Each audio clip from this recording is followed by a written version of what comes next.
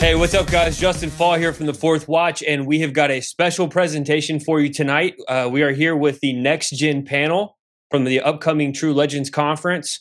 Uh, we've got Josh Peck, Timothy Alberino, and the famous Gonz Shimura, Face Like the Sun, who does not have a webcam, but you will be seeing his logo tonight.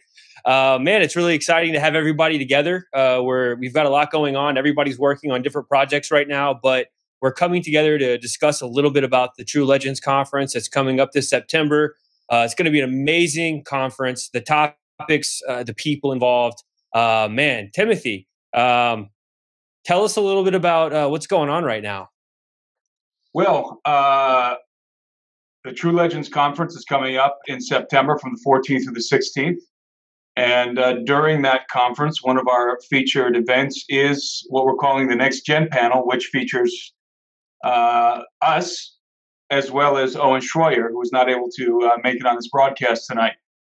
And uh, the reason why we're we've decided to do a, a, next gen, what we're calling a next gen panel, is because the topic of the conference is transhumanism in the hybrid age, and transhumanism is going to profoundly affect our generation before we're dead and our kids for sure and most definitely our grandkids. And that's a statement that the generation in front of us really uh, wasn't able to make. This is a phenomenon that's going to begin to uh, manifest in our lifetime. And so uh, we wanted to address the uh, the millennials. I mean, I'm right on the edge of a millennial. I was born in 1983, so um, I just made it into the millennial category.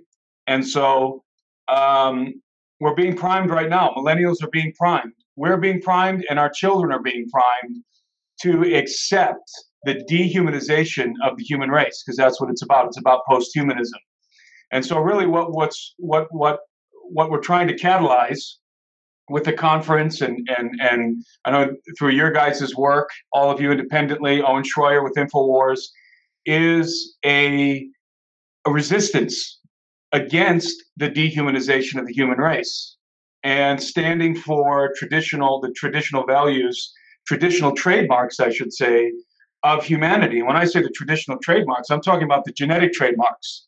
I'm talking about the the sociological trademarks the societal trademarks of the human species because we're losing the ability not so much us but certainly our kids are losing the ability to co- even communicate with one another anymore as human beings, the way that human beings have been communicating for thousands of years. I mean, even the most fundamental, the most basic interactions of the human race um, are changing now, right now, are changing. And this change has only really, uh, only really began about uh, a decade and a half ago. And so this is brand new. There's no, the only precedent for the age in which uh, in which we are entering, which is being called the hybrid age, not by us, but by futurists and technologists, are calling the age that we're entering the hybrid age, and that's why we're calling our conference um, Transhumanism and the Hybrid Age. The only precedent for the time that we're entering is the world before the flood of Noah, the pre flood world.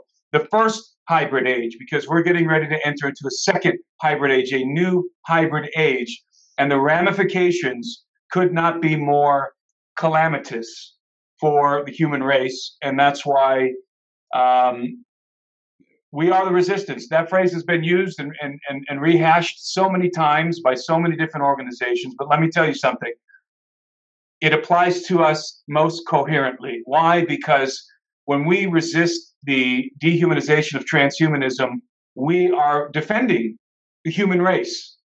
We are the defenders of humanity. And uh, so that's what this conference is about, and that's what we're going to be discussing on the Gen 6 panel. I'm sorry, on the next gen panel. No, that's awesome. We've got uh, we've got a handful of things we want to talk about tonight, and uh, the cool thing that I just want to say as we welcome everybody on tonight is that everybody on this panel has done some type of work exposing transhumanism. Um, goodness, I I was involved in this back when I was in college. Uh, I, I focused uh, in all my psychology courses, uh, all my thesis projects were dealing with transhumanism, transgenics. Um, at the time, we were told this was crazy. This is never going to come to fruition. Um, and and here we are now. We're not so crazy anymore. Um, we're seeing things happen with the technology that are being woven into the fabric of our everyday lifestyles. Um, so much to the point that you can't even go to Starbucks or or your local coffee shop or even church. You go to your church and the kids are all just like this.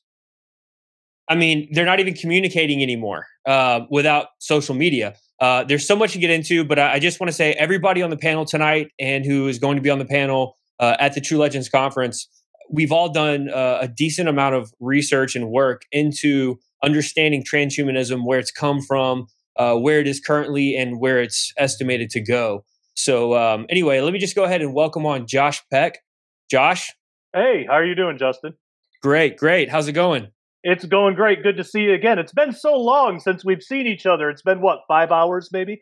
I, I, saw Josh at work today, so yes, yes, which was which is uh, it's always good. It's actually uh, you know for those who don't know, I went through this knee surgery thing, so I had to work from home for a while. But it's nice to be back and uh, uh everything. But yeah, it's good to be in this panel talking to you guys. So, Josh, uh, you've done quite a bit of, of research into the transhumanism agenda, and uh, I'm just going to say this: um, what's cool about having Josh around is that Josh, you take almost a little bit more of a conservative view on some of the topics than I do personally, or that even Timothy might take, or Gonz. We all we all kind of bring different angles to the table. Um, one thing I like about you, Josh, is that you challenge people um, not to just believe all the crazy right up front. You're very skeptical about accepting some of the crazier information um, I'm skeptical too, but I tend to dive into it and say, you know what, there, I, am quicker to say there's reality to some of this probably than you would be.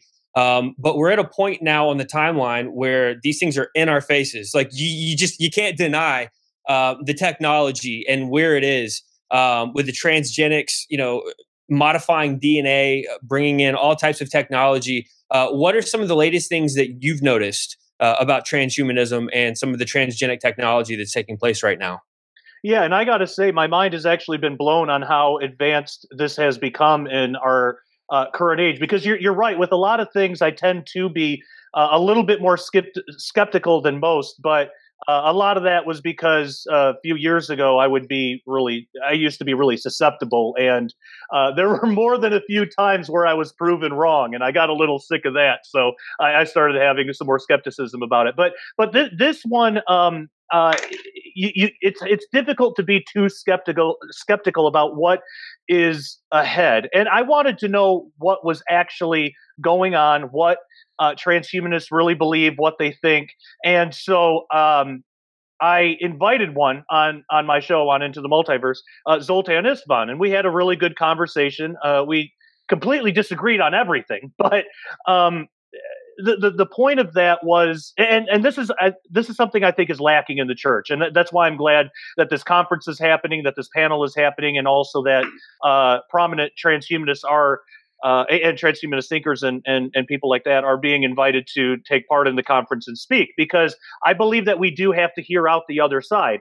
not so our minds will be changed and so we can, can be convinced that their way is the right way. You know, I mean, if they uh, were able to come up with a compelling enough argument, then everybody could make up their own minds on that. Um, but not not because of that, but because it it sharpens our own arguments better and we can't really know what our arguments are until we hear the opposition so i took one of the most um, uh, I, I, don't know, uh, uh, flamboyant maybe is the right word, uh, transhumanist in existence. I mean, he drove around the country in a van shaped like a coffin, trying to spread the message of transhumanism. I mean, we don't, we as Christians don't drive in cars shaped like crosses to spread the gospel. So uh, something's got to be said for that. But I, I really wanted to know what he what he thought and what he believed, and yeah, it was it was a productive uh, conversation. But for me personally, it really opened my eyes to how prevalent this is, and really how evil this ideology is behind transhumanism because it subverts the cross, it subverts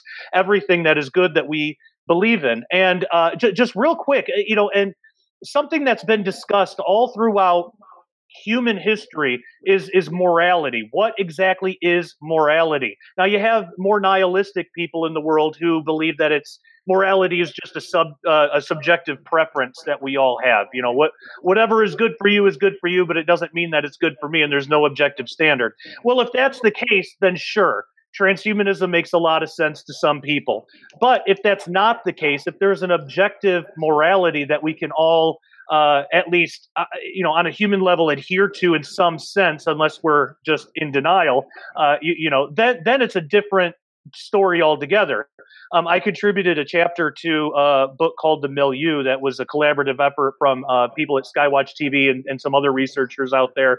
Um, and uh, in, that, I discussed uh, part part of that, the, the, the, morality issue, because there are those out there um, who would attribute morality to biology, who, who would say morality is nothing more than another term to describe biological humanity. Yet, if that's the case, that would mean the less moral you are, the less biologically human you are. So, you know, would that mean that there are certain regions of the earth that uh, where where people inhabit that may be a little bit more primitive than we are, yet they're not a, as human because of that? You know, I, I, would seriously doubt people who aren't, uh, uh, you know, people on the left side of the political spectrum would be really willing to uh, admit to that. So I, I, think that's an issue. What what the topic of morality, what what that specifies. There's a political issue too. If transhumanism actually becomes a reality, and it is now, you know, this isn't some far off thing. There, there, th- it's happening now, and it's only going to increase. Well, is that going to thrive in a privatized environment uh, through capitalism? Uh, and I actually think that's where it'll thrive the best. Or is it going to be through government uh, programs and, and, more on that approach? Which, if that if that is the case, I, I think people tend to think that that's more scary, but it will stave it off a bit because you know, let's face it, the government isn't good at anything, so uh, that'll slow down the process a little bit more. But still, I don't I don't advocate for uh, government control of anything, let alone something like this. But but that's why we're here. We're we're getting the word out because uh, I think people are still uh, uh mo- many people are still stuck in this idea that this is not a big deal. It's a very small faction of humanity. It's a uh, it, it, it's a very small counterculture. It has no bearing on anybody's lives right now, and if it does, if anything does come out of it, it won't be for another century at least because technologically we're nowhere there yet. All of that is false.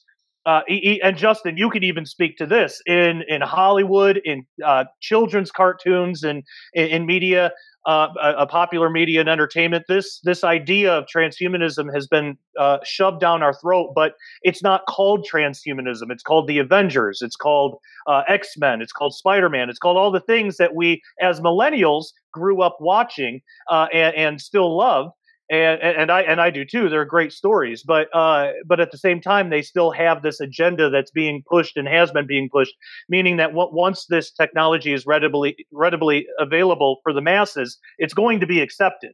Uh, because there's that nostalgia part of it too. So, uh, yeah, I am not a skeptic on transhumanism anymore. Uh, I haven't been for quite some time now, uh, and and I and, and, you're right. I do I, I, do tend to be more on the skeptic, skeptical side with this kind of stuff, but I well, can't Josh, with transhumanism. Yes. Let me. Um, I want us to get into the Hollywood aspect of these things here in just a second. Um, but speaking on the morality clause, if you want to call it that, um, that's a perfect time to go ahead and bring on Gonz Shimura. Yes. Uh, Gonz, you and I have done programs together uh, between Fourth Watch and Canary Cry Radio, where we've talked about transhumanism. And I think one of the interesting little tidbits that you have kind of brought into my mind is that there is a faction of so-called Christian transhumanists. Tell us a little bit about that, how you got into this topic, and a little bit about where you're at right now with your studies.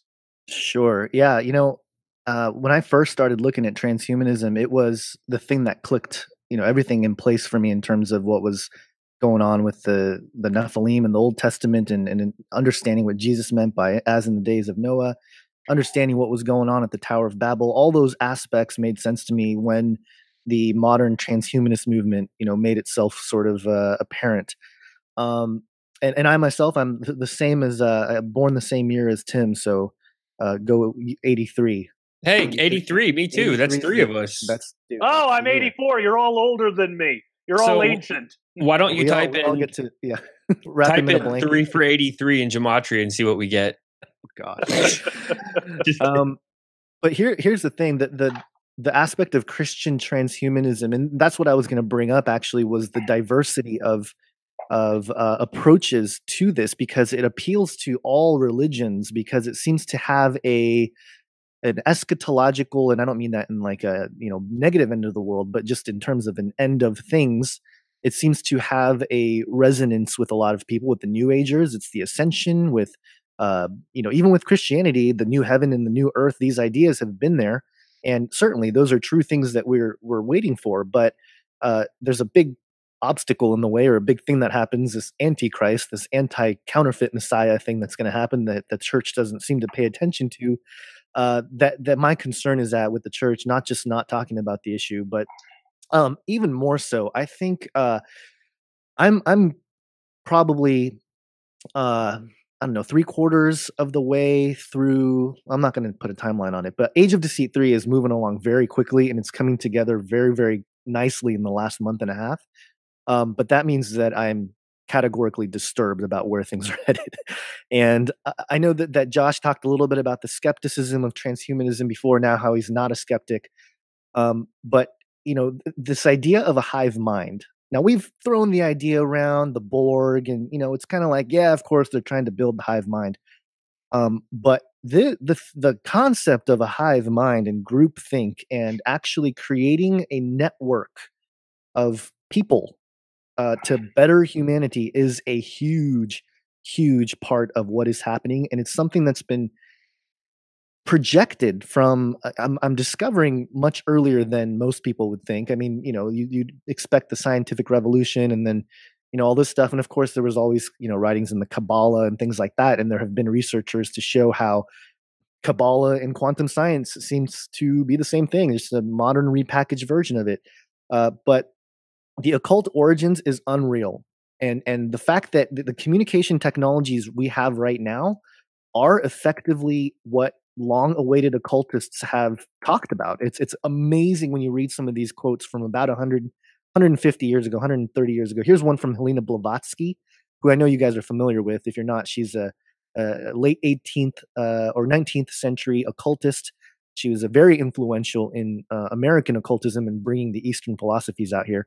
But she said this in 18, I think it's 86. I'll have it zoomed in here, but she said telepathy as it is now called, is the communicating of thought or idea from mind to mind. This is a branch of occultism, a part of which is known to the modern investigator. But it is also one of the most useful and one of the greatest powers we have. To make it of service, uh, many things have to combine. While it is used every day in a common life in the average way for men uh, are each moment telepathically communicating, this is what she believes.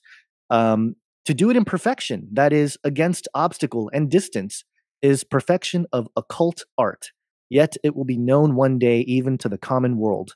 And man, is that, if that's not a description of the internet, 140 years ago by an occultist, I don't know what is. And what's emerging out of this, and, and you, you combine these writings from, uh, from back then with the modern writings of not just New Age, but business, talking about networking, talking, there's a book called The Seventh Sense network becomes the new it's not just the sixth uh, sixth sense where the humans can uh, gain these extra perceptions through a sort of transhumanist transhumanistic thing but it's also a seventh sense where um, a hive or a a sort of conglomerate human a- arrives this neo-human that is uh, not just individuals but a collective and it goes back to collectivism co- collectivism and monism and all these ideas that are prevalent um, in places like the you know burning man uh, which i know justen you're maybe going to go visit. I don't know if that was uh, concluded yet but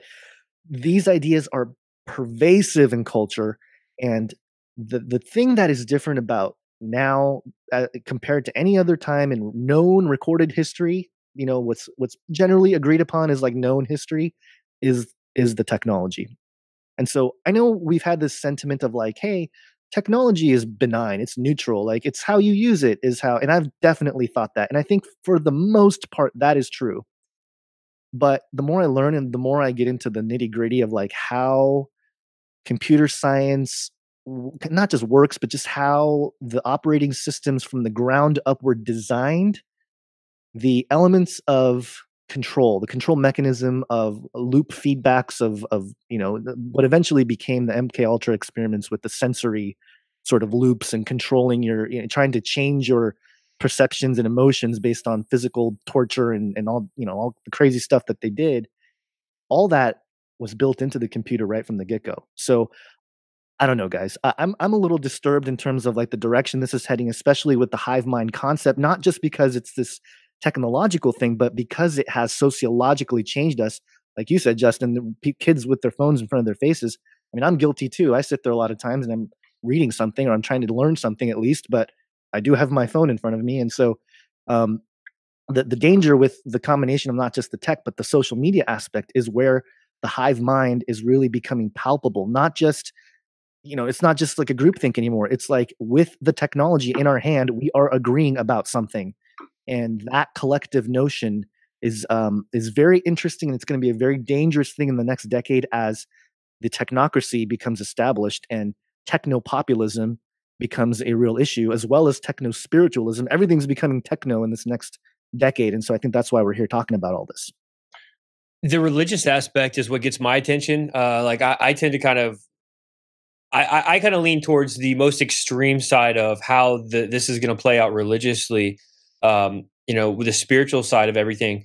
But when you talk about the hive, this hive mind, this collective, uh, I remember back in early 2000s, there was a program on PBS. I think I might have mentioned this on Canary Cry Radio, but uh, anybody can Google this. There was a program that came out called The Worldwide Mind. And PBS, as liberal as they are, they they had the whole good cop bad cop routine you know they've got a guy that's like so like so far crazy transhumanist and then they've got this other guy that, that represents like the average conservative american joe. And they kind of go back and forth good cop bad cop so that by the time they're done completely conditioning you that you need this cloud. They didn't call it a cloud by the way okay? This was way before we even knew what the heck a cloud was. But they were selling this idea that there was coming a day they were already working on the networking for it and these supercomputers that were going to be powering this this worldwide mind this hive this collective. And if we have the hardwire or the the the we're not hardwired but it's like if we're if we're networked into this thing and I, I don't remember the exact language but the gist of it was if we're networked in um, via microchip via frequency whatever you're you know however you're connected to this thing you can download a language instantaneously. Like you speak Chinese now. Um, Gonz, I could be having a community, uh, like you could be laying in bed with your wife, and I could just like whisper in your brain, Gonz, Gonz, hey Gonz, that's terrifying. Are you there, Gonz? yeah, I, I mean, I, that's how creepy this is. We can communicate with this, um, but then you made another statement um, about telepathy, and, and I don't want to go on a tangent here. Um, you know, the popular megachurch out there in California that everybody has goodness all the headlines about Bethel Church, uh, the Destiny cards, and all this other crazy stuff that's been going on there. Um, their children's pastor put out a video on his Facebook Live saying that every baby can be communicated with telepathically by its parents. Like it's actually something we need to learn how to do because your babies are born with their, their it's like they, they have a mature spirit but they haven't learned how to communicate on this planet, right? Yeah. And yeah. so, as a parent, and his name's Seth Dahl, by the way, I'm not making this up. If anybody's watching this and they think this is just totally crazy, uh, this is the children's pastor at Bethel Redding, in California. He says that he telepathically communicates with his infants and that he encourages other parents to do this. Um, are you recommending, Gonz, that there's an element of telepathy that's possibly this this psychic part of our brain that gets activated by technology and all of this? Where are you going to go with that? Yeah, I think what they're going to do is, in in part of this, and I just pulled this up because this is so relevant. And I know we don't want to go too far down any given rabbit trail, but there was an article that was published um, by ABC titled "Telepathic Communication: Just a Matter of Time" as twins reveal blueprint for brain interface and it's um it's a conjoined twin. These these two girls have their their heads are fused together. That's how they were born, but they have like you know they they're able to share experiences. They're sh- they're able to share uh kind of you know the tastes and and uh you know things they crave or their thirst or things like that. And that is the key here. It's it's electric signaling. We're all just electric signals. Remember? So what's going to start happening is now they've already done it. They've already mapped or, or tried to map parts of rats' brains and stuff, and they're able to show the electrical pulses that are taking that are taking place in the brain. They've even uh, created uh, a whole procedure to go through and digitize that brain into the cloud. So yes, rat brains are already in the cloud. Um, and, and so I think what they're going to start doing is not just digitizing it, but the the thing that's really creepy in the most cutting edge research, it's not it's not necessarily implants. You know, we've always talked about microchips and implants and stuff. They're talking about we're not going to need any invasive stuff. We're, we're going to be able to use the silicon type of uh, infusion technology, and we're going to be able to to get the kind of reading and you know the the back and forth interaction uh, electrically that we need via the brain. So, I think that there's there is already there's already tons of technology being made to do this, but it, the, the the the implications are so crazy because if you start thinking about memories, right? They already implanted a memory in a rat or something. Uh, can you imagine if uh, you know we're sharing memories or sharing experiences? These are going to become normal types of things where celebrity culture will completely change because you know people want to live vicariously through them through experiences and things like that. It's going to be a whole different world. And so, yeah, I think communication at, at that supernatural level that's that spirituality side and then the technology is going to show it it's going to help facilitate some of that you know and, and for for example like the digitization of the rat's brain they were able to literally take a, a piece of flesh and uh, map it out digitally completely from top to bottom and and now they have a digital version of a brain that they're able to uh, effectively give it new memories or transfer that information to another uh, rat across the country uh, with memories and things like that. So, you know, it's all it's all it's it's pretty invasive towards our minds, and that's the biggest thing here. Is is this is an assault not just on the body but the mind. Um, they have to assault the mind first before they can really assault the body, and I think that's what we're seeing, especially, you know, with the breakdown of the family and the transgenderism and all these issues. It's all to break everything down uh, to create something new. And again, that's something that they, uh, someone like Julian Huxley talked about in the 1940s that we're going to purposely create tension across the political and social and education and economic and everything so that a new thing would emerge and and a collective new humanity will emerge and that that's kind of what they're going for. But the religious side of it is certainly a big vehicle and i think we need to have that discussion because the church uh, man or uh, the church is ignorant right now with, of the topic. They just don't know, you know they, they're they're uh, they, they're going forward with the tech without any sort of uh, checks and balances. They're just kind of keeping going with the culture, and that's that's a, a huge trap because that is a huge part of the New World Order system, the UNESCO system. It was uh, the three prong approach: education, science, and culture. So, speaking sorry, of the religious rambling. side of it, Gonz, um, just a few weeks before our conference in September, again dealing with transhumanism in the hybrid age. Uh, by the way, it's at the Branson. It's it's at the uh, Mansion Theater in Branson, Missouri, and also live streaming is available right now. You can go on gen6.com to get your live streaming ticket. You sign up for live streaming now for this year's conference, and you get last year's conference for free immediately. Um, but just a few weeks before our conference, there's a um, a faith, technology, and the future conference that is being put on by the Christian Transhumanist Society. It's a Christian transhumanist conference. Right. They, they're li- they're literally preempting our conference with their own. And uh, this isn't; these aren't futurists. These aren't secularists. These aren't humanists. These are so-called Christians, who are not only who are far worse than ignorant concerning the question of transhumanism. These guys are, um, these guys are um, complicit in the uh, in the accepting of of what transhumanism teaches in, in terms of um, um, mixing it into their theology. And I've seen a lot of this, and I'm sure you guys have seen a lot of this too. These megachurches are already primed. And when I say megachurches, I think everybody thinks the same handful of churches are already primed to to amalgamate the doctrine of transhumanism into their watered down version of the gospel. The stage is already set for this to take place. Um, this conference, their their their main speaker at this conference is Aubrey de Grey, who is a scientist who's working uh, to end aging. He wants to defeat death and uh, find a cure for aging. And he's he's a very famous guy and doing a lot of work um, to try and defeat death. So I think it was you, Josh, that mentioned um, one of the spokespersons for transhumanism that you interviewed was driving around in a coffin to try and uh, to try and get the word out about transhumanism, to try and uh, proselytize the the doctrine of transhumanism. Really, that coffin is uh, can be used to to to accurately depict the problem that we have, which is the human condition. The problem that the human race has is sin and death. We are in a state of extreme genetic degeneration. We are not Adam. We all want to be Adam again. Hence the um, all of the superhero movies that are coming out and so forth. This is, as you said correctly, Josh, this is transhumanism in our face. These are uh, people who have been genetically enhanced in most cases. Uh, most of these superheroes are genetically enhanced, and they represent, in a way, psychologically for us, they represent Adam. They represent what, what, what we once were, what we long to be again. I believe that every human being is secretly longing to be Adam again.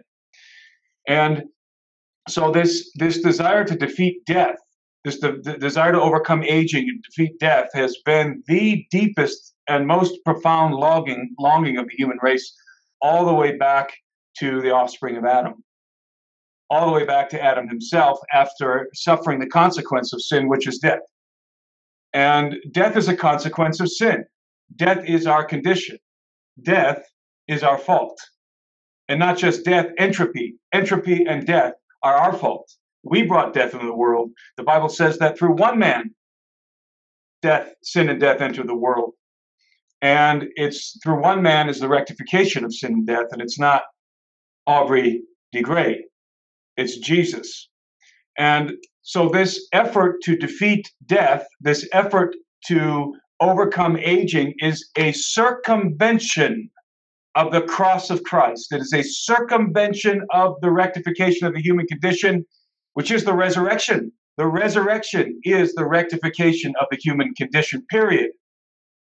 And any attempt to rectify the human condition, I'm not talking about curing diseases, I'm not talking about increasing lifespans, um, using technology. I'm talking about becoming something other than human in order to circumvent the human condition, circumvent death, circumvent the cross of Christ and the resurrection. That's really what transhumanism is about. And any believer that embraces the doctrine of transhumanism has forfeited the doctrine of Christ, period, and cannot be considered a believer. Because Paul said that our hope as believers is the resurrection. That is our hope as believers. In fact, Paul says that if the res- if Christ was not raised from the dead, we are to be most pitied among men because our hope is in the resurrection. The hope of the believer is not in this life. It's not in extending his life. It's not in curing aging or any of that. We understand that the, that we are bearing Adam. We wear Adam. We bear the consequence, the ramifications of sin, which are death, and that all of us will die. Even those of us who have embraced the cross, why? Why will we die? Because we're still wearing Adam.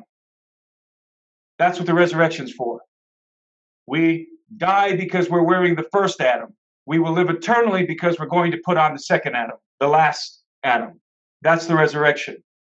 And the doctrine of Christ, the doctrine of atonement and the resurrection in Christ is what is what is most lacking in uh, in churches today. The, the, the foundational pillars of what the early church believed the crucifixion of Christ, the fact that he was buried and raised on the third day, the fact that he ascended to the Father, and the fact that there is a resurrection, the hope of the believer, the resurrection for those who are in Christ. This is the gospel of Jesus Christ, and this is what is not being preached in most churches. So the churches are being primed to accept a counterfeit resurrection, a counterfeit gospel with a a circumvention of the cross of Christ, a circumvention of the resurrection, to live eternally through the uh, through the mechanism of, of transhumanism, tr- uh, through the mechanism of transhumanism, because transhumanism is it's not just a philosophy. Transhumanism is a transition. It is a transition that takes us from being human through transhuman to the ultimate goal, which is post human. Post humanism is the end game. And understand that post humanism means that to be post human is to forfeit your candidacy for salvation. What makes you el- eligible to, to receive the gift of God, the, the eligibility to receive the gift of God is the fact that you are a human being. If you are something other than human, then our kinsman, human redeemer, it no longer qualifies for you. The cross of Christ is annulled for you if you forfeit your humanity. That's what ought to be being preached from the pulpit, not this acceptance of transhumanism, not this desire to defeat death through other means. Again, I'm not against uh, curing diseases and, and, and, and doing things that, that don't change the trademarks of human being. That's where the danger comes because the only way, the, and I'll kick it back to you guys, the only way to circumvent the human condition, to circumvent the resurrection, is to become something other than human because herein lies, in this body and in your bodies, Herein lies the curse of sin, which is death.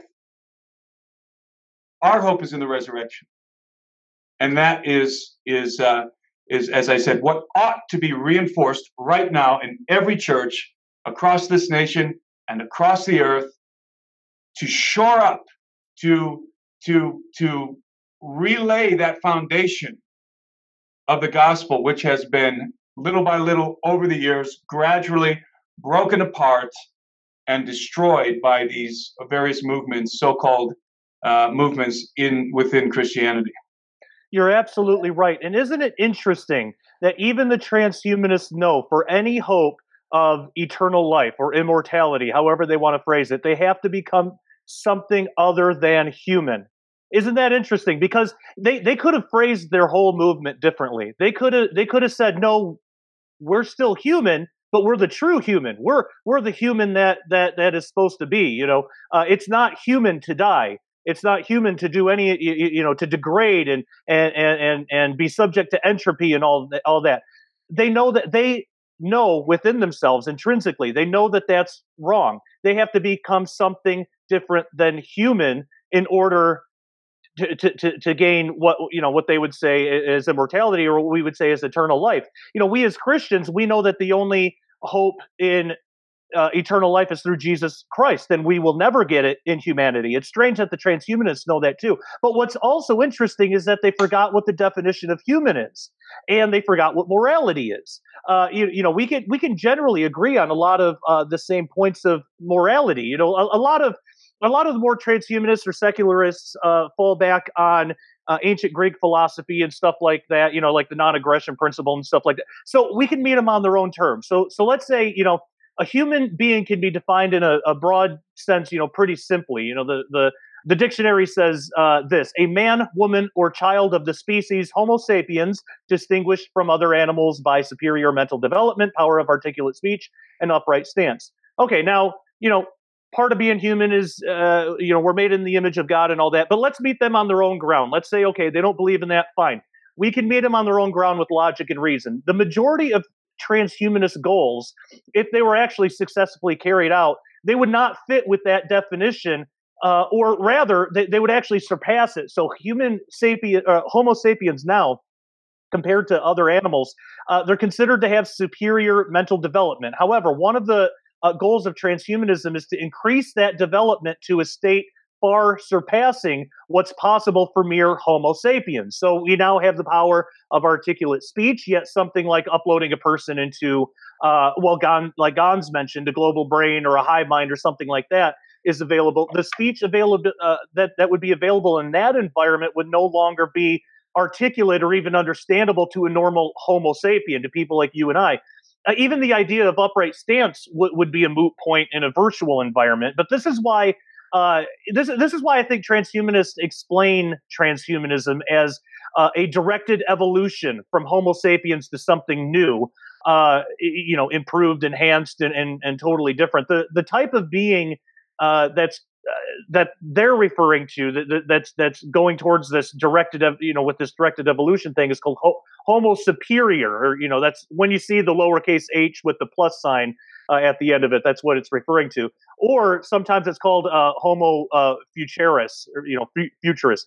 But one of the more troubling things about that concept is how this is going to be done and what it means for the rest of humanity. And even on their own terms it goes against the non-aggression principle. So much of transhumanism relies on the implementation of genetic editing, and we're seeing that a lot today. So, basically, in a nutshell, the idea for, for those who might not be familiar and are just brand new to this topic, the idea is that a person can alter their genes uh, or, or DNA to enhance their overall biology, and that's being done today through biohacking. Uh, just in, in, in people's garages and stuff.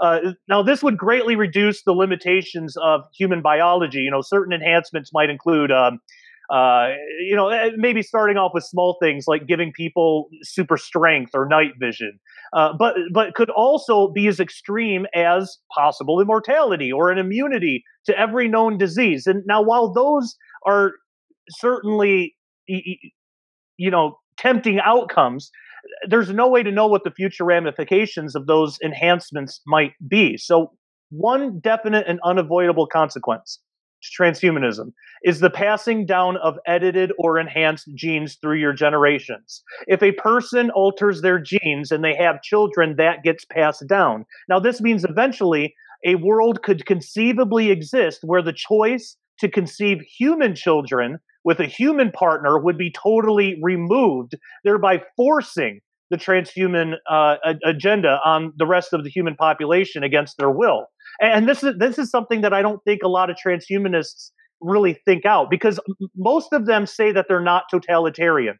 Everybody can do what they want, you know. They're they're they're more social liberals and that type of thing. Everybody can do what they want, but they don't realize that if they are uh, if they are successful in their goals, they're taking our our choice away for future generations. You know, it, it, it, might it might be defined as merely like a personal choice today, but that's only valid for at the most one generation at most. So, for example, we could compare it to like getting a tattoo. You know, I got a few of them myself. It's a personal choice, okay? But uh, if if if a tattooed person has a baby, you know, I have I have uh, three, four, uh, one on the way. Um, they're not born with tattoos. You know that that that choice was my own choice, and it's not passed down uh, in, in, the generation. So a baby's not also born with tattoos. Now, with transhumanism, the future generation has no choice, and once that choice is made for them, there's no going back. A human superior baby could never grow up and decide to be a, a Homo sapien, uh, e- even if there is. Uh, even if they morally disagree with what transhumanism has done to their biological makeup, I mean, even we as Christians, uh, even we as Christians offer that choice uh, to humanity. If you don't want to be a Christian, fine, then you don't have to be a Christian. Um, and there's a lot more I could say about that, but I, I don't want to. I, I, don't want to take up the whole conversation. But I'll, I'll, just say real quick that you know, also a, a Homo superior or a, post-human, it's not just created out of thin air. A, a Homo sapien is needed to create a post-human or a transhuman or a, ho, a Homo superior, which means for the addition of every Homo superior, one Homo sapien is lost. And over time, those two factors, one being the shrinking uh, Homo sapien uh, gene pool and the loss of existing uh, Homo sapiens being the second, it would eventually result in a complete species eradication. And that's known as speciescide. Uh, now, while the great evil of genocide is defined as, quote, uh, the deliberate and systematic extermination of a national, racial, political, or cultural group end quote. Specieside, in, in the context of uh, what we're talking about today, is the actual extinction of an entire human species. It goes beyond uh, genocide. And I, I, would think that if if if if trans if transhumans were were consistent, and I'm speaking generally, but if they were consistent in their own ideology and their own ideas, if they would follow it out to the ultimate outcome, they would realize okay, in order for us to have our little movement here and uh, and, and plan it out to fruition, that's specieside. Uh, there, there's just no way around it. Eventually, it's going to reach a tipping point on Earth where humans, Homo sapiens, do not have a choice anymore. And there's good reason to believe that possibly that's what's being talked about in a lot of the Book of Revelation. So I'll, I'll turn it back to you guys. Yeah, let me uh, let me just comment on immortality real quick, Josh. Um, you start throwing words like that around, and people instantly conspiracy theory meter goes off in their head. Um, the truth of the matter is, uh, immortality that might be found in this life, it's still temporary because once the great tribulation is is done, you know, I, I mean, look, things are going to happen during the great tribulation. The Bible is very, very clear. Yes, and and during this time period, uh, I mean, there's going to be some things that are going to come to fruition during this time period that are not going to happen before this time period. Like there right. are things they are predestined for this time period. Um, well, and you can the, even meet you can even meet the secularists on their own terms, you know, because and, and, yes, and I fully agree with that, and every Christian should agree with that. But if you're if you're debating with a transhumanist or a secularist, you can still make the same point and say, well, look, even on your own scientific terms, the the the universe is either going to suffer heat death or or, or uh, a freeze death. One of two things. Eventually, maybe it takes billions billions of years, but because of the expansion of the universe, eventually everything's going to freeze and die. Where's your technology then? Nothing can survive in that environment. Or the Higgs field doomsday, and that's a whole other thing. But but basically, which could happen at any second, uh, the universe becomes a, a, true vacuum where particles can't even exist and everything gets ripped ripped to shreds. If people want more information on that, uh, check out Joe Litkin's presentation on the Higgs field doomsday. By their own standards, they know no matter what technology you develop, uh, it, it can't sustain that because the, the, the, what they theorize is actual particle eradicating uh, forces and processes. No technology can surpass it. So you're absolutely right. For the Christian, yes, we got we got tribulation, we got prophecy, we have all this stuff that we know is going to happen uh, from the Book of Revelation and Daniel and, and, and all that. But for a secularist who doesn't believe in those things, the point I, I think is even more clear that based on on their their their so-called science this is all going to end someday. You're going to die. It doesn't matter if you live 100 years or a billion years. You're going to die. You're going to cease to exist physically. What next? But if God does allow any type of, we'll just say, um, presumed immortality, because I think that's what it's going to be. Uh, right. Uh, these transhumanists, they're going to be able to access certain technologies, right? And and I think we get a little clear glimpse of this in Scripture because when you go to Revelation nine six, I'm just going to read this for everybody here. Uh, and in those days shall men seek death and shall not find it, and they shall desire to die, and death shall flee from them. So there's something very peculiar about this passage. Some shift is going to take place. Now, I believe it has to do with transhumanism. Now, I, and I want to get everybody's opinion on this if we have time. I think that that there's something that's going to take place. There will be a shift that takes place, physical slash spiritual shift that takes place, um, which will affect mankind in the tribulation. And again, I don't mean Christians, uh, and, and I don't want to get into eschatology. Everybody's got a different opinion on that. But the Bible is very clear there will be elect on the earth during the tribulation. So whether, you know, everybody has a different view of who those elect are, I think we all know, uh, we all have our own views on that. But regardless of who the elect are on the earth, there will be Christians, born again Christians on the earth in the tribulation. Um, they will not take this transhumanism. They will not have anything to do with it, and they're not going to try to kill themselves. But for those who do take part in the beast system, okay, those who go through whatever this looks like, and I can't paint a picture, I don't know what it's going to look like, but something's going to happen where they will want to seek death and they can't find it. They will not be able to kill themselves. As for right now, people just go out, you know, go out back and, and you know, pull out a gun or or take a bunch of pills. I mean, right now there's a suicide rate there's coming a time where man won't be able to kill themselves, according to what I'm reading in scripture. Now, Timothy, let me jump to you real quick on this. Well, um, I think that uh, I think that certainly that there are technologies that are under, under development right now in synthetic biology and biotechnology that are going to create all kinds of scenarios um, I mean, people are talking about nanotech bodies. People are talking about uh, extreme forms of cybernetics. Uh, so certainly, these technologies are underway, they're under development, they are going to emerge in the consumer market shortly. This is one of the drastic changes that we're going to see in our lifetime and that our children, I've got four boys, by the way, our children are going to deal with is this emerging market uh, for human modification, for the for the alteration of human biology, whether it be on a genetic, whether whether it be on a genetic level, whether it be using nanotechnology, whether it be cybernetics, artificial intelligence, uh, or integrating technology into your biology. And this is going it's going to it's going to create a scenario in which um, people are going to be forfeiting the traditional um, meat sack of, the, of human flesh and they're going to attempt to upload their consciousness to to machines. I don't think um, you know i'm not convinced that a machine can have a consciousness of it of its own. Uh, i'm not convinced that the singularity is possible. The singularity as it pertains to uh, ray kurzweil's theory. Uh, however, I do think that there might be it might be possible to to a degree to move consciousness into a synthetic body. Um, and that's underway. There's all kinds of, of experimentation happening there. What we have not yet seen is the consumer market. And the reason why we haven't seen the consumer market yet is for two reasons. Number one, the technologies are still, still developing. Right now, we're witnessing the convergence of what are called the GRIN technologies genetics, robotics, artificial intelligence, nanotechnology, and I would throw in cybernetics. Um, these technologies are, are, are converging. They are converging.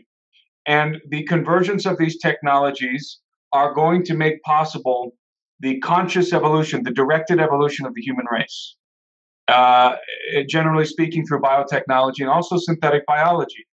And uh, synthetic biology in the sense that people can create new life forms. Now, college, uh, high school students are already creating new life forms, single celled organisms that do different things. Like uh, there was a competition a, a, couple of years ago to among the high schools, which high school, uh, and it was all over the world, could create the most interesting, the most useful synthetic, new synthetic life form. And I believe the winner of that particular year was uh, a, a, a, single cell organism that could eat uh, I'm, I'm, I'm, trying to think of the word. The um, not plastic, the uh, uh, asbestos or whatever it's called, the, the, that dangerous substance that gets into your lungs and gives people all kinds of respiratory problems. Uh, so high school students are already creating synthetic life.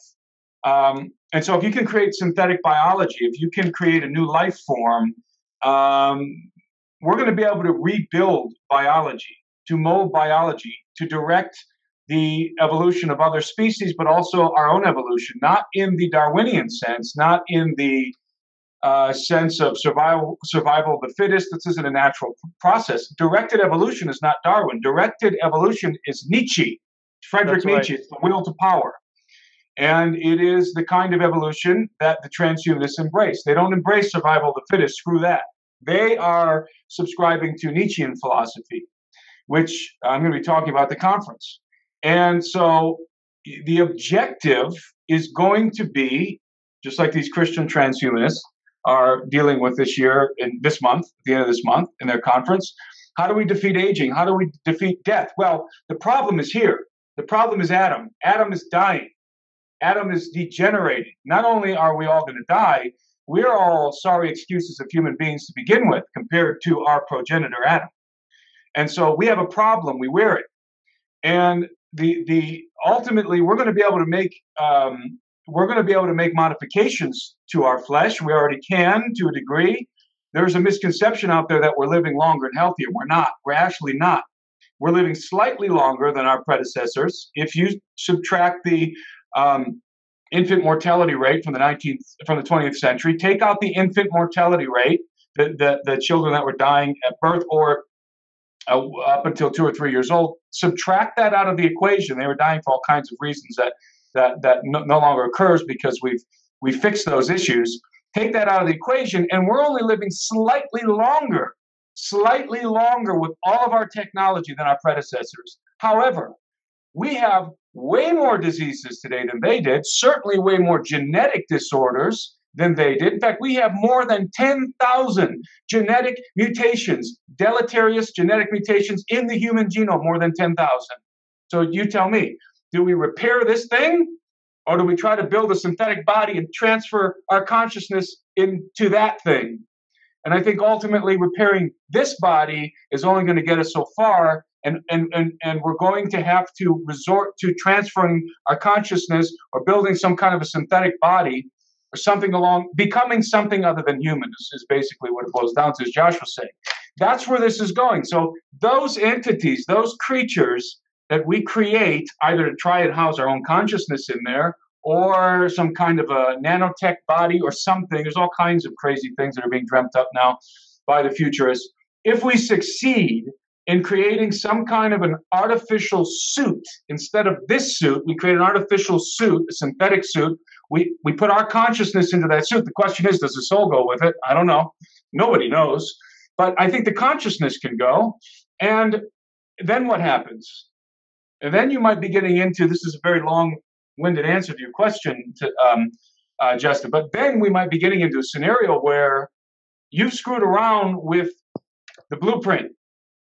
And now you've created hell on earth for yourself and others who are in your situation, who, who maybe move their consciousness into this, uh, this synthetic life form. And people are probably thinking, oh, that's crazy, that can't happen. Well, then you answer me, how is it that demonic beings, sentient entities can inhabit your body with you.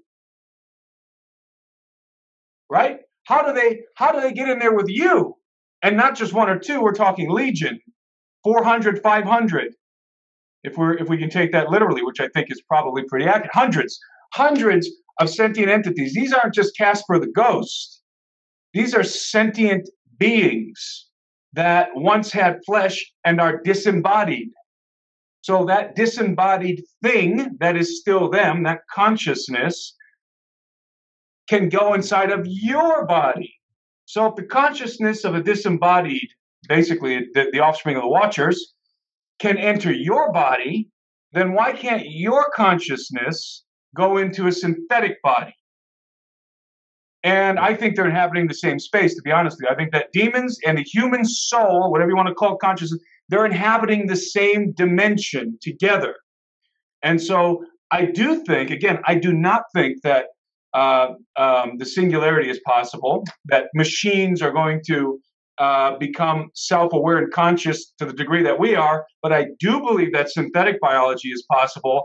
And I do believe that the human being, the consciousness of a human being, just like the disembodied spirits of the Nephilim, can be transferred into a synthetic life form. And there, that may be the key to understanding, um, Justen, uh, what you're talking about, how it, how it is that that death will escape them, will escape those who have done this uh, for many reasons, and um, that's a frightening, that's a terrifying prospect. If if life on Earth becomes hell on Earth, Yeah, I'm gonna let me in. let, Oh, let go. John. Can I can, let me clear something up real fast before you comment. Um, when I when I bring up Revelation and, and I start talking about uh, all the stuff that's going to happen, um, I just want to make it really clear. Obviously, like I, I don't believe the Christians are going to be here when God's wrath is poured out over the whole earth. I, I definitely I, I I believe in a pre-wrath, um, and I don't want to give the the wrong impression. I don't believe we're going to be here when wrath comes down. But my point was based on the timeline of events, things are cooking up to that point. And I think God's going to allow these these wicked men waxing worse and worse, seducing, deceiving, and being deceived. Right? Um, I believe He's going to allow them to seduce and to continue to get worse and worse, and their technology is going to get greater and greater, uh, giving them this this this goal of finally not being able to die for a season. And I think that's the season that the wrath is going to get poured out. Um, and so basically, they've kind of dug their own grave, and it's kind of like now they're going to lay in it. You know, they're gonna they're gonna suffer. Uh, I just want to clear that up. Uh, I hate even having to bring that up, but uh, eschatology can confuse people, and I didn't want to create any confusion on that. But Gonz, please chime in. Well, I was just going to jump in, and I think most of this conversation can be summarized or parsed out by looking at Romans 8. And in uh, verse 5 and 6, for those who live according to the flesh set their minds on the things of the flesh, and those who live according to the spirit set their minds on the things of the spirit. For those Uh, for to set the mind on the flesh is death, but to set the mind on the spirit is life and peace. It's a passage we, you know, we hear about all the time. We hear it in church and whatnot. But if you apply it to this topic, it becomes quite profound because if you look at the pursuit of transhumanism, of the hive mind, all these things, it is a flesh pursuit. It's predicated on humanism. It's predicated on uh, the scientific inquiry and what we've, um, uh, you know, extracted from the data that we've, you know, gathered from human biology, from human uh, testing and measuring, and all these things that we've done. And you know, I think, I think the thing that Tim's getting at with this notion of um you know this assault and and and this alternative thing that they're trying to usurp god and and usurp the the cross really that's the heart of it but people don't really see it that way you know that, that that's a really hard road to get to i'm i'm hoping the folks that are christian transhumanists the the people that maybe are introduced to the idea through them because they're much more culturally relevant i mean they got like they got like the mormon transhumanist there they got like a like a lesbian person and a theology people from Princeton, and they got like you know they got a lot of academic people there. So it's possible that your average Christian might hear about transhumanism through a group like Christian Transhumanism first. But my hope is that you know if you're a Christian and you've been taught sort of the basic tenets of Christianity, my hope my hope is that people will see sort of the reality of like wait a minute this they're talking this is a religion this is a new religion that they're pushing um, because it's totally spiritual. They are tackling the big question: Where do we come from? Why are we here? Where are we going? And those, if those issues are being tackled through the flesh, then here's what we have: we have transhumanism. We have this crazy hive mind thing that I think they're building. And um, you know, one of the things, a lot of these issues with like, you know, Josh brought up like, hey, we have a personal choice right now. Like, you know, I'm going to tap myself up like a like a heretic, like Josh is. I'm just joking. I'm totally joking. I joke around with Josh a lot. So anyway, um, but I think I think this is going to the part that's not discussed and the part that has blinded the church especially is the culture because culture is such a huge element and i think this is a it was very apparent in, in the recent discussion uh, with Carl Teichrib on canary cry radio talking about burning man talking about how their theme is irobot their you know the whole tech industry has had a close tie with silicon valley and the psychedelic movement of the 90s which has its ties to the CIA and all the you know the 60s freedom movement and all this stuff. It's all part of the same movement. And if you look at their documents, you look at what they wrote, and they have they're very explicit that this cannot work unless it is based on humanism. It cannot be based on you know uh, it, it can have different tenets. It can have your you know it can be Islam, it can be Christianity, it can be you know Hindu, whatever, but it has to have a humanistic uh, tenant that we are all coming together we are all improving we are all uh, going in the same direction which is you know up ascending um, that notion has to become very prevalent to society and that's not going to happen I think that is going to happen more as some of these communication technologies become even more crazy. And I think the big thing that uh, we need to look for is this topic of empathy. Um, it's very I mean, it's for me personally. I have. I mean, I'm, not as empathetic. My wife is super empathetic. She has a gift. She's able to kind of sense people, you know, just by looking at them. Um, this type, how what if you look at it technologically? What is all that stuff based on at an empirical level? At an empirical level, we're talking about blood, you know, blood pressure rising, uh, pupil dilating, um, you know, uh, heart rate changing, um, you know, skin tone change, like little little physiological differences that can now be measured and that can now be fully sort of transmitted into a data set and then other people can experience it. And you, you start talking about you know having those sorts of empathetic moments of hey we're trying to understand each other through this technology. Now you have this hive mind thing where you again you start messing with your own thinking. That's where all the sensory that the flesh when you're going at it from the flesh outside in you're going to mess up the, the spirit the soul inside like like tim, tim was talking about and i think that's the the point here and the warning that's been in the scriptures all along with revelation 13 and just the whole big you know mythological spin that the, the craziness that we read about in, in the book of revelation and daniel and things like that. It seems so radical and crazy but uh, now now it just seems like it's it's happening and it's all predicated on these technologies and human imagination. That's a big tenet. You look at the Tower of Babel. It's a point I always bring up, but I think it's so pertinent. Um, the reason why God uh, stopped the Tower of Babel, one reason was that you know they would do whatever they imagined to do. That anything they imagined to do will be possible. So all of a sudden, with this technology, anything we imagine to do is now possible. You know, it's it literally is. You can create virtual worlds. You can become whoever by you know putting on an avatar, whatever. But it completely separates you, the person, from your body, and it is a pseudo spirituality that's that's very pervasive. I think it's going to be that that whole notion of the spiritual part is going to become the next uh, phase of how culturally this is going to draw people in.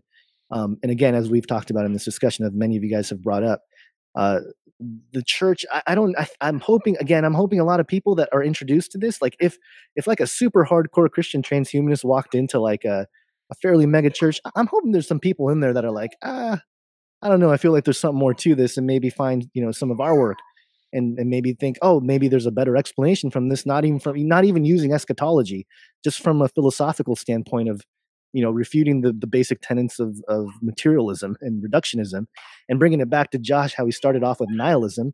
You know, I always take it back to if you're if you're logical about your atheistic worldview and materialistic reductionism, you're going to end up with uh, you're going to land in nihilism, which means that anything that you deem as meaningful or purposeful is categorically a delusion. It's an illusion. It's something that you're making up to occupy time until you go away. So, I mean, if you believe that, then all you have is to sustain this, whatever this is. And so it makes sense to try to build, you know, uh, eternity, living forever, defeat death, all these aspects that are uh, you know the promises of God through the cross through, through Jesus Christ. Well, now we're in this age just like it was in the days of Noah, where humans have the technology at their fingertips to try to do the same thing that God already did on the cross. So, yeah, I mean, it all, it all goes back to you know some of the stuff Tim talked about, but I just wanted to throw that in because there's there's so many different um, layers to this, uh, and I think we're doing a good job covering all of it just in this short discussion. But um, yeah, I hope people come to the conference and they're able to to see that like there's there's a lot to this. This isn't just like this isn't just a, a you know a Marvel comic superhero propaganda type thing. There's there's a lot more to it. Um, and uh, just it's kind of the eugenics topic that you guys brought up to that Josh mentioned. Uh, have you guys seen the movie Storks? No. Nope. Okay, it's it's an animated movie for kids. You know, it's kind of fun. Whatever the the storks that delivers the babies except there's one glaring disturbing part of this the whole movie the the the main corporation or whatever is a giant factory machine thing that creates babies hmm. like the babies that were being delivered to the families that you know couldn't have children or brothers or sisters or whatever it was just babies being created out of a factory so i mean i mean it sounds like something i would watch being 35 years old single with no kid I'm sorry, man. well, being 35 years old and, and, having younger children and having seen it, that was the. I, I was trying to enjoy the movie, but it was a little hard when they were like, "Oh, the machine turns on and now it's spitting out hundreds of babies. What are That's we going to do with all these babies?" So anyway, I'm sorry, kind of rabbit trail. Go ahead. No, you mentioned uh, Blavatsky, and I, I, think a good kind of sum up point here um, would be kind of going back to what Aleister Crowley said. And for those who don't know Aleister Crowley, um, you know, he called himself the Beast. Um, he's probably one of the most, if not the most, influential um, black magician, occult fathers uh, of our lifetime. Like, of, uh, I mean, literally. Um, I mean, granted, he he's long gone now, but when you consider all his works and all of his spells, and just, I mean, I, I can't sometimes I, I just I can't put into words the magnitude of some of these things. Uh, people wouldn't even know if they haven't studied. But Crowley, um, you know, majorly influenced uh, Jack Parsons, um, L. Ron Hubbard, Led Zeppelin. I mean, Black Sabbath. The list goes on. Don't have time to break it all down. But um, his religion, Thelema, one of his religions, Thelema, um, he defines in that religion what magic is, and and I think this is really telling. Um, basically it's uh, causing change to occur in conformity with your will. And you know his number one commandment if you want to call it that is you know uh, do what you want, do it, uh, do what thou wilt, shall be the whole of the law. It's all about you, self, um, causing you know causing change to manifest based on what you will. And witchcraft is very much you know delving into that same idea of uh, manifesting your will into reality, basically.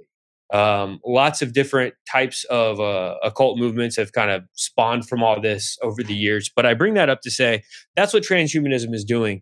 Um, they've got they're they're literally trying to manifest their will through technology, and it's a form of magic.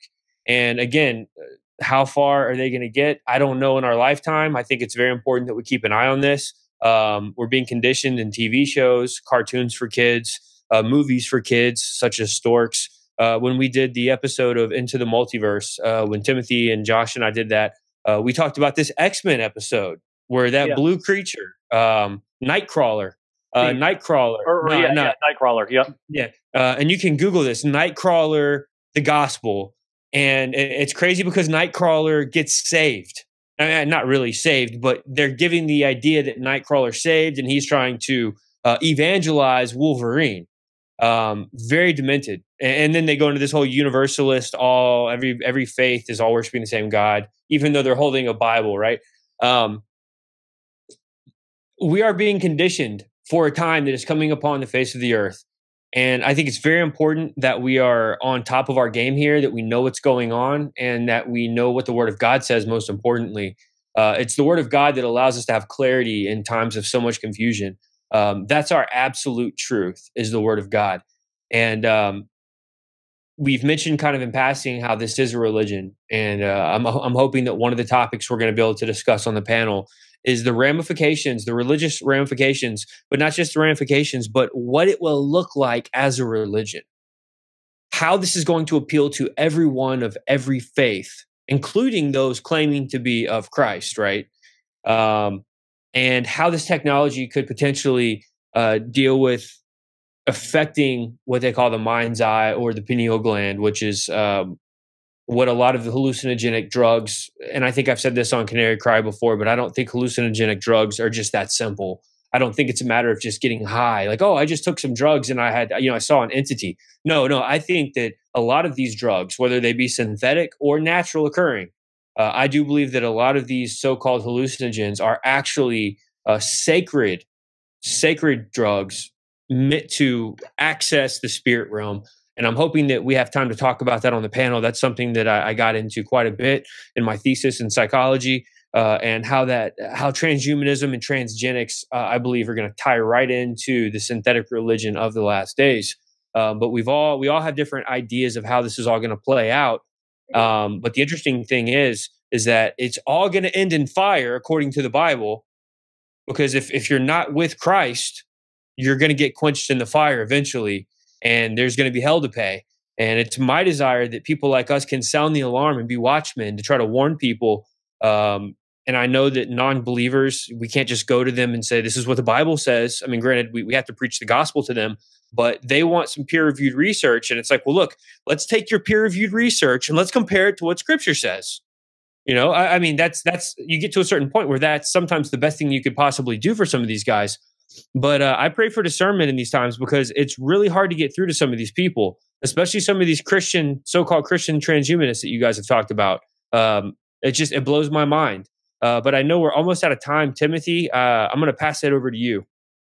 Uh, yeah, you know, the, the, the topic of my presentation in Branson this year is going to be what I call apotheotheism, the evolution of a new religion. And it's a new religion for the new hybrid age. And it's unfolding before us at this in this very moment. It's it's uh, maturating in the in the Christian church, the so-called Christian church, the mega churches, the emergent churches. Many of the charismatic churches are now beginning to pick up the transhumanism the theme of transhumanism, but not not as a a topic of concern, but rather are already beginning to adopt the doctrine of transhumanism. Um, it's happening. It's happening at an exceedingly rapid pace, and so uh, that is our. That's why we we're doing this conference this year. We want to prepare people. We want to uh, make sure that people are equipped, and that's specifically why we're doing this next gen pa- panel. What what you what everybody has heard on this uh, panel tonight on this uh, digital version of, of what we're doing at the conference live is just is just the beginning of the things that we're going to be getting into. We have a list of topics that we're going to hit that uh, are, is much broader than what, what we've talked about today. We, again, we're going to have Owen Schroyer with us, and um, it's going to be extremely dynamic. It's going to be epic. And we want to make sure that we're thinking about not only what's happening in our time, but more importantly, uh, what's going to be happening in our kids in, in the age that our kids are going to grow up in, in the epoch that our children are, are growing up in, which is which is the Aeon of Horus, by the way. And so um, the True Legends Conference is from the 14th through the 16th of September. Uh, you can you can do early registration on the 13th. Uh, that Thursday, the 13th is a Thursday, and Steve Quayle is going to be doing a book signing. If you want to get a, a, book signed and uh, early register early, which I recommend people do because there's going to be a lot of people. There's going to be 3,000 people converging at the Mansion Theater uh, on the 14th. So it's Friday the 14th, and then it's um, Saturday the 15th, and then Sunday the 16th of September. The next gen panel is going to be taking place on Saturday. And where I think at this point we're sold out of physical tickets. You can go to gen6.com. That's G E N S I X.com if you want to go to the conference. Do you want to see if there's a ticket left? I don't think there is, but you can check. But certainly you can you can sign up for live streaming. And uh, as I said earlier, the live streaming for this conference, when you sign up for this year's live streaming, you automatically get access to all the sessions from last year's conference. In other words, you get last year's conference for free. Sign up for this year's conference live streaming. You get to watch last last year's conference for free on the website on gen6.com after you create your account. So it's going to be dynamic. It's going to be it's going to be a very powerful time. We have um, we have aside from our next gen panel, we have uh, obviously Steve Quayle uh, and myself from Gen 6 Productions will be presenting. We have Tom Horn and, and Sharon Gilbert from, from Skywatch TV. We have David Knight from InfoWars, who's one of our keynote speakers, will be presenting. Um, obviously, Owen Schroyer from InfoWars is going to be on our uh, panel. We have um, um, we have Hugo de Garis, who we're flying in from China to be with us. Hugo de Garis is uh, the author of the Artilect War and one of the uh, premier developers of artificial brains, has been one of the premier developers of artificial brains. He's coming. We have Richard Dolan from the world of ufology, who's going to be talking about some very interesting connections between ufology and transhumanism. Very, very fascinating stuff. Um, and I, I, I, can't remember who else we have, but we, David Langford will be with us on Sunday. And so um, this is going to be powerful. This is going to be an epic conference. Last year's conference was epic. This year, I guarantee, is going to be even more epic. So join us uh, on the live stream. That's gen6.com, G E N S I X.com. See the next gen panel live uh, with all of us and Owen Schroyer. And um, again, we've got a whole list of topics that we didn't even touch tonight that are we're going to deal with uh, at the conference. So, gentlemen, thank you for accompanying me tonight on this uh, digital next gen uh, panel. And I look forward to being with you guys in Branson. And, and uh, I know it's going to be powerful, and I know people are already excited about it. Yeah, it's going to be awesome, and uh, we will uh, we will have just gotten back from Burning Man. So yes, so, and we and we definitely want to discuss Burning Man. In fact, know, Justen, in fact, I, I, if you can, bring some pictures that we can display up on the uh, the big screen while we're talking. Uh, you're, you're, gonna have to blur out the background. yeah, yeah, I was gonna say, yeah, bring some G-rated pictures, Justen, that we yeah, can display. But uh, I just wanted to say, um, like we we we didn't want to get too much into that tonight. There were so many topics that we that I really wanted to talk about but obviously, um, we we just we can't dig too much into those topics that we're saving for the actual conference. But I know we've got a lot of topics to talk about there. We'll have just gotten back from Burning Man, iRobot, um, and there's going to be so much stuff happening. Um, I'm really looking forward to seeing you guys out there in just a few short weeks. Um, Josh Peck, in closing, bro, thanks for joining us. Well, yeah, and and if we got a couple minutes in closing, I'll wrap it up by making one point that uh, you know there there's a question to uh, that every skeptic of transhumanist eh, has transhumanist idea has, uh, especially those who are Christians. You know, people like you and I. And I, I think that probably a lot of people watching are wondering the same thing. Where exactly is the line? You know, where where does human biology improvement stray from uh, acceptable to unacceptable. I mean, we have plenty of technologies and medical advances today that can, you know, cure diseases and ailments through the use of technology. So, you know, when when we think about it, would somebody with a prosthetic hip be considered a transhumanist? You know, probably not. Well, what about those who receive laser eye surgery, or what what if a cure to cancer uh, could be found through genetic editing? You know, which is currently being researched. Uh, what what if a human being could be genetically edited to become completely resistant to all disease? You know, where is the line? And I, I want to address that before we sign off because I do believe that a lot of people have that question. Uh, th- and there's been a lot of different answers offered by people throughout the years, and it, it seems uh, there's no real general consensus that that has been reached as of yet. So I can only really speak for myself in attempting to you know provide some kind of answer. Uh, my personal belief is it comes down to the difference between restoration and glorification. So is the medical treatment restoring what was once there?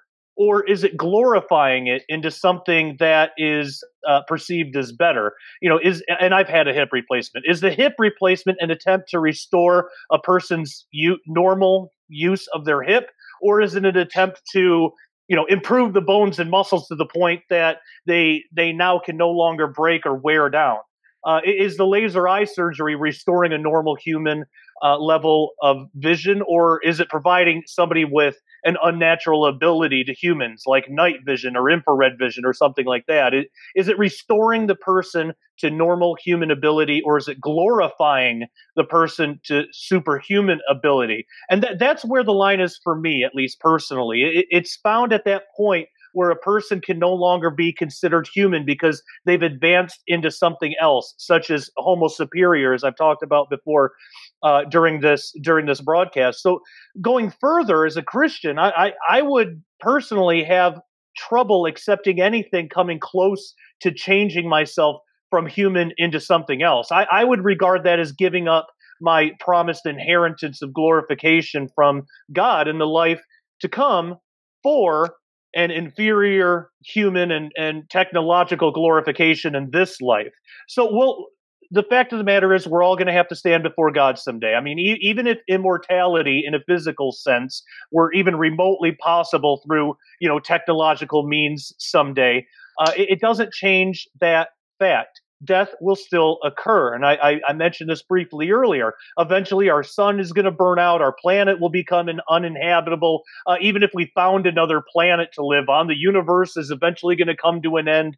Uh, due, due to all the exponential expansion of the universe, a day is going to come, again, in the secularist uh, mindset, a day is going to come when everything will be too far away from everything else to have any sort of ad- advantageous effect. You know, basically, stars aren't going to be able to warm planets. Gravitational orbit uh, is going to be a thing of the past. Basically, the universe itself is going to die. So, in the case the universe, excuse me, ends earlier than that in a you know massive Higgs field doomsday event, even time itself would run its course. So, no matter what, you cannot escape entropy forever. Now, transhumanism is a stall at best.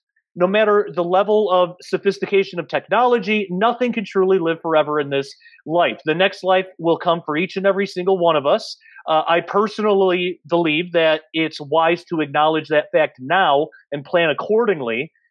We're, we're, we're going to be on the other side of death far longer than we've ever been on this side.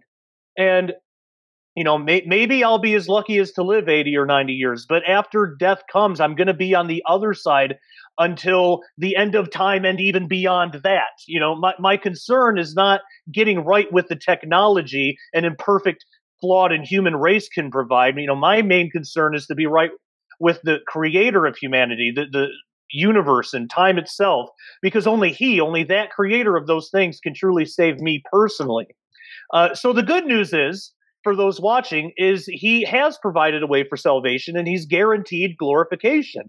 Now, it doesn't require government funding, it doesn't require uh, private corporations, and it, it doesn't require waiting for advanced technology to be developed. It's, it's available right now to every human being on earth. And even better, the God who saves desperately wants to give you this gift through his son today and is only waiting for you to accept it. He wants it so much, in fact, that he gave his own life for it in in in, in the form of Jesus Christ. Hundred percent man, hundred percent God. It, it, it costs you nothing. The cost has already been paid. Uh, to truly prepare for the future, I, I, would suggest asking Jesus Christ into your life today and begin believing and following Him. Uh, if you do this, God, Jesus guarantees that what transhumanism can never offer, they can never guarantee that you will truly and eternally be saved. And I'll end with this, John 3:16 from the King James Version Bible, for God so loved the world that he gave his only begotten son that whosoever believeth in him should not perish but have everlasting life. Amen. Amen. That is the most important message uh, of the ages of any age Jesus Christ. That is our answer. And uh, it's because of our love for the gospel and our love for the truth that we want to get out here and that we want to uh, just follow the command in Ephesians 5:11 to have nothing to do with the wicked works of darkness, but rather expose them, or the King James says reprove them. Uh, I kind of like the word expose better. That's the more modern word because that's what we do. Um, all darkness is going to get brought to light, and that's what we do as Christians. Is that we we mark the false teachings, we call it out, and we try to educate people on what the truth is uh, according to the Word of God. Gonz, in closing, take us out. Uh, well, I mean, with Josh, um, your analogy of uh, enhancement versus uh, glorification is interesting because I, I have a similar measurement um, in discussion with people concerning the topic of transhumanism, and that is uh, restoration versus enhancement. Um, I think it's a it's a good apologetic when you take it to glorification. Um, but when we're talking eh, just in a practical conversation, it might be um, something that's more applicable if you frame it in the uh, in the position of um, restoration versus enhancement. Because you know, if you study the history of like plastic surgery, they've had plastic surgery for like hundreds of years, but it was always to like fix horrible injuries or people that have been deformed and things like that. It was to restore people to make them feel like they can, you know, function in society. That all changed in uh, what is it, the 70s, 80s, or something like that, when plastic surgery became a thing in Hollywood. So it's interesting how even that, like that, became enhancement. You know, and it's a culturally, I mean, I don't know if it's entirely accepted, but it, uh, certainly in California, in Southern California, um, those types of practices are accepted. And so that is a cultural um, issue where they have accepted culturally a notion of enhancement not from any sort of benefit other than aesthetically. And so th- that mindset is what I think is going to be uh, more pervasive in in how this becomes normalized. Um, and that's my baby in the background there, if you can hear her. Um, and uh, this, I don't know if you guys can see. Is the screen? Is it sharing my screen or is it sharing my logo on the screen? Uh, see your logo, but you can do the screen share if you want. You'll be on full screen. I thought I did the application here, but let me see here. This is um, just wanted to share this from earlier. Is it doing the screen now? Yes. Yeah. Okay, so this is um, this is a cover cover of the book God and Golem Inc. Uh, by Norbert Weiner or Wiener. Uh, he's the father of, of cybernetics. So this is the guy that actually like pretty much came up with the whole concept of cybernetics. So, I mean, uh, like I said, this stuff is uh, uh, the education of of what this stuff is and and the origins. The more I learn, the more I'm wanting to build a farm. But I, you know what? I can't add a whole lot to what you guys said in terms of the the greater implications here because uh, really, it, you guys have all brought it back to the gospel, and I have to agree with you guys there. And and I think the the importance here, which is so interesting, is that the simplicity of the gospel message is lost in all this technology and all the the stuff that we're, you know, social media and all this stuff. Um, and I think ultimately the the biggest message that we're going to have is that like bringing it back to that simple gospel message. It's not really any different. You know, yeah, we talk about like, you know, the crazy things, all the the gnarly stuff happening out there, but that's it's not so much that we're making it up anymore. It's it's we're just commenting on what the world is providing out there and showing us. And you know, a lot of it does need to be taken down or at least called out. Um, and and obviously, you know, in the world we live in today, even calling it out doesn't make a difference so much anymore with uh, certain sectors of our uh, of our you know at least our digital existence. But yeah, it's all back to the, the simplicity of the gospel message, and that's what I hope people walk away with with from uh, our discussion. Um, you know, the next gen conversation. How do we bring this conversation to the next generation? Well, we got to have the the foundation first. We got to stand on that solid rock, um, and and I think all of us here are doing that. And you know, hopefully that that part of the message is clear because I think people can be introduced to this stuff and and not realize that we're actually trying to preach the gospel here, guys. We're not we're not trying to say like go run and and you know build a cave or something. Although that doesn't sound like a bad idea, huh, Tim? You can help me out build a cave. Uh, did you say build a cave?